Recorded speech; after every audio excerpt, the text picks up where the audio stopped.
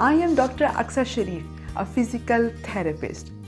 Spurling test is a special test used to assess the nerve pain known as a radicular pain.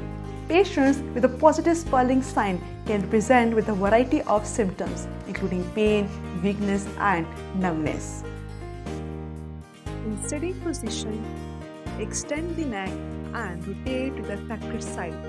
Thus apply slight pressure from the top